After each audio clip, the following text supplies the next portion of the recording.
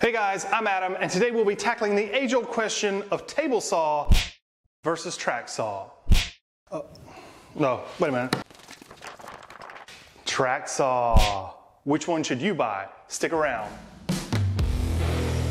I wanted to do this video because I think this is a question that comes up for a lot of people, uh, especially if you're starting a new shop or maybe you're just starting something at your house. You want to do this as a hobby. For the purpose of this video, I'm going to be talking specifically about job site table saws. Because honestly, if your shop is big enough for a full-size cabinet saw, go with the full-size cabinet saw. I used one for 15 years professionally in my cabinet shop, and I miss it. Round number one. Yeah, let's talk about crosscut capacity. As you can see on this table saw, I've only got about 25 and a half inches of crosscut capacity. Now let's see what the track saw can do.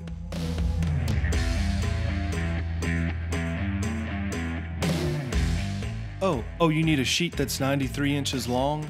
Yeah, no problem. This is where the track saw excels. Table saw zero, track saw one. Round number two. Oh, it's so heavy. Why is it so heavy? Oh, why is it so heavy? So for the sake of this comparison, I'm not allowing any cheating and I consider an outfeed table cheating because that's not a tool-to-tool -tool comparison. Go ahead and let me know in the comments how wrong I am. Yeah, this looks like it's going to be totally safe. No problem. Do not try this at home. Oh, come on. Jeez, dude, eat some Wheaties. Go for a run.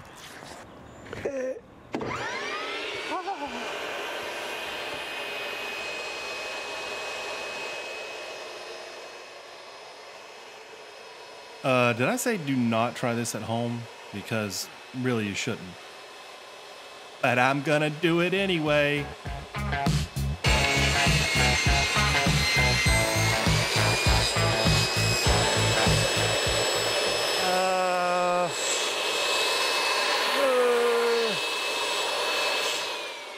So obviously if you had an outfeed table, this would be much easier and much safer. I do have an outfeed table, but I'm not gonna use it for the sake of this video. Still heavy, still heavy. Okay, so let's try that with the track saw now.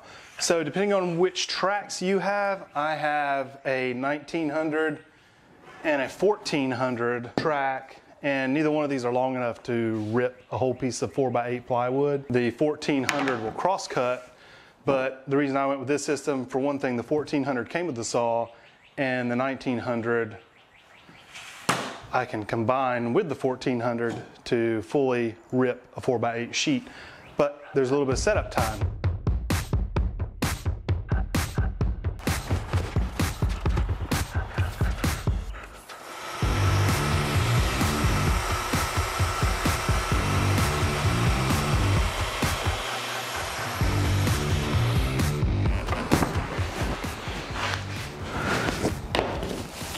So as you can see, that's only about a million times safer than using the table saw. But what happens if you've got a four inch wide piece of plywood and you need a two inch strip cut out of it? The track saw is not gonna help you out there because there's no room to put the track. What you can do, and what I've done several times before, is you can put another piece of wood up against it, lay the track on that, and run down it. But that's not always possible. So for those cases, that's when the table saw is your friend.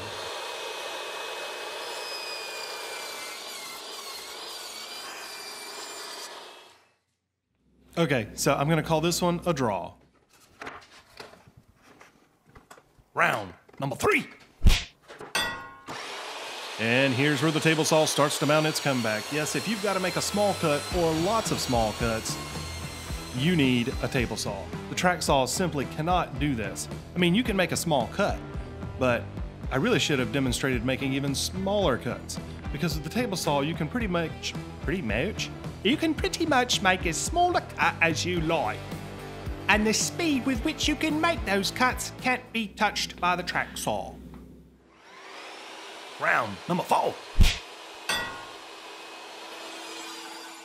A table saw can work really well for you if you need to make angled cuts, uh, especially when you need to repeat those cuts, especially when it's on a small board, and especially if you have a cross-cut sled, which I am not using here.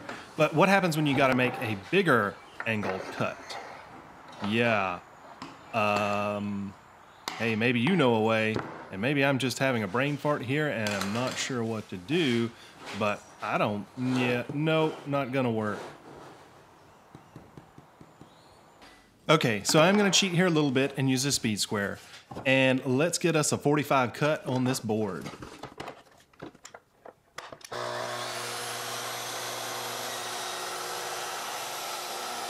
Yep, not gonna get a cut like that on a table saw, not on a board this big. Now, can he repeat that cut? Yes, yes, he can. Like butter. Please, sir, can I have some more? Yes, yes, you can. You can have all the angled cuts you want all day long.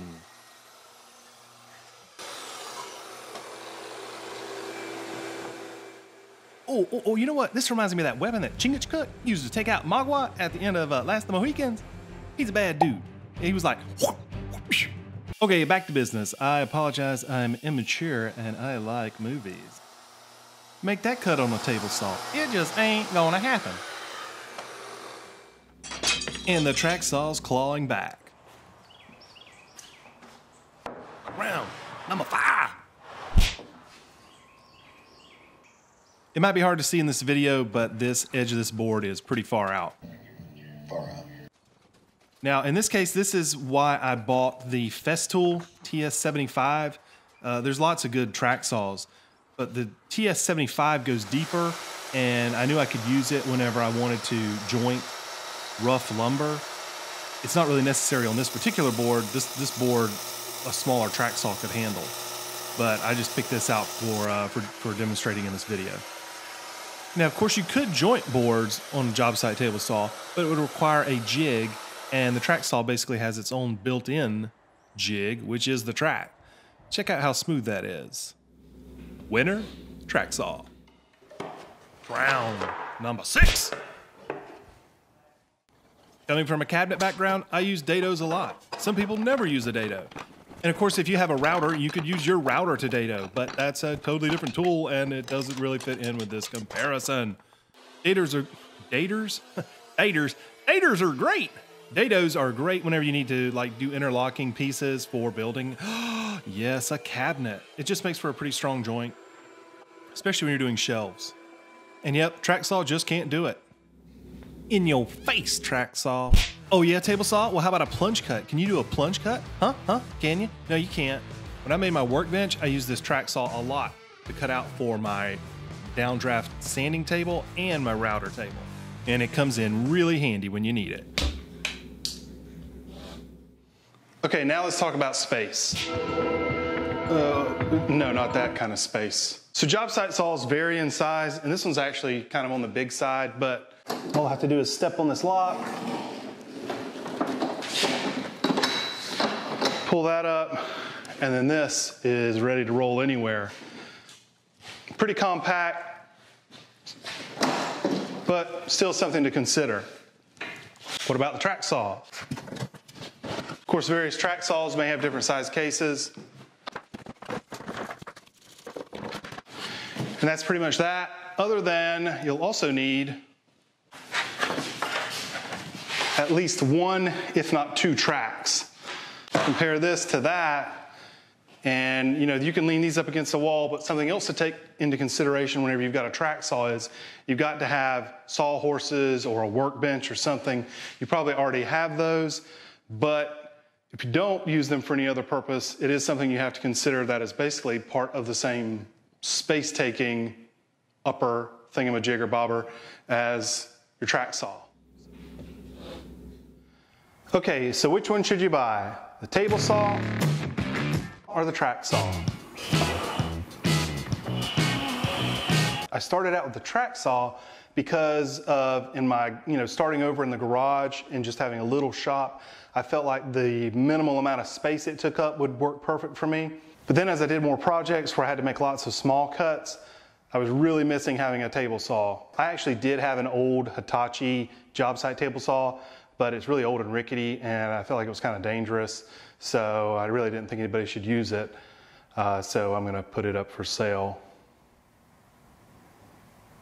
So I hope this video helps you decide, and I hope this wasn't too confusing. Thanks guys for watching. If you like the video, give us a thumbs up, and think about subscribing so that you never miss a new video. If you have any comments about maybe what I left out or any ideas for future videos, please leave those in the comments below. Storm, can you say bye? Oh, he's a good girl.